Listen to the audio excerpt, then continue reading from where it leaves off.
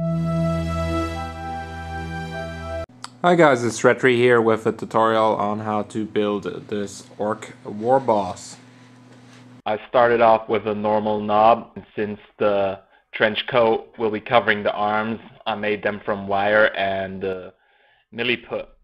First, I made the back of the trench coat in milliput, and uh, this I did just to have a base so I can work on that with the green stuff later where that the green stuff um, would just go through the legs.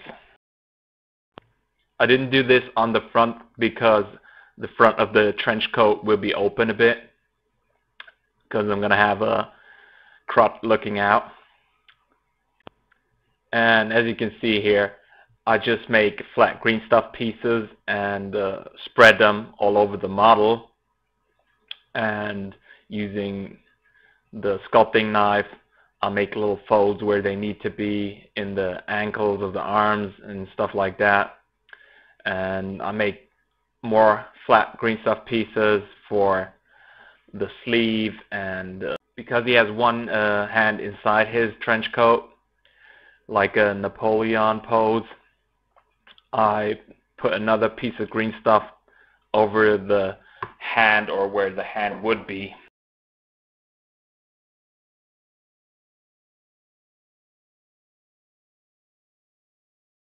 Now once again I did the front first and after drying I did the back side of the trench coat.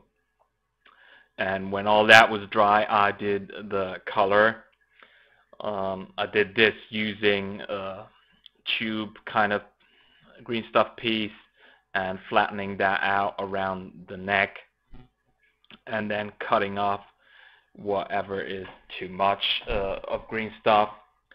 And later I go in and add the stitchings by just pressing down the sculpting knife a little bit into the green stuff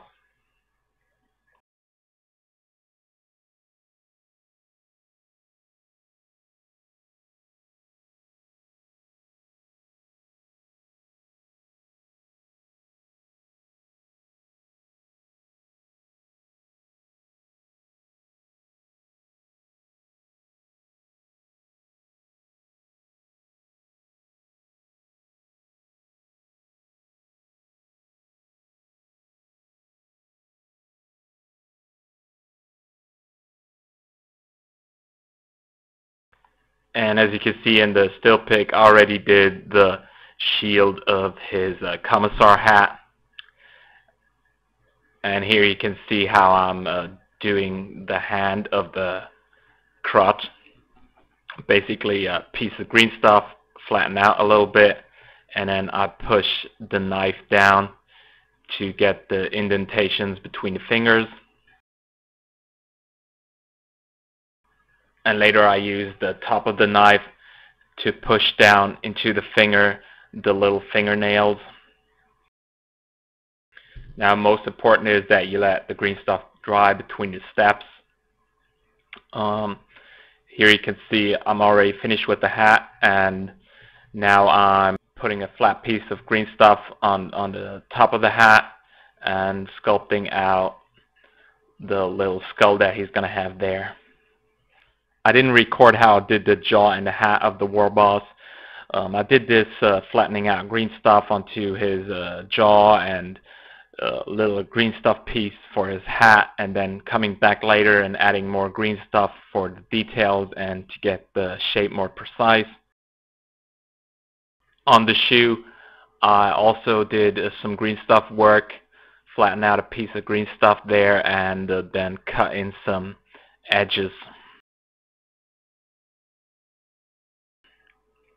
and here you can see how I'm doing the ribbon that wraps around the staff of the axe. I basically have a green stuff tube that I uh, apply from bottom to top um, just pushing it flat onto the stick and then later I come back and do a second piece so I have a kind of crisscross uh, shape over the length of the axe.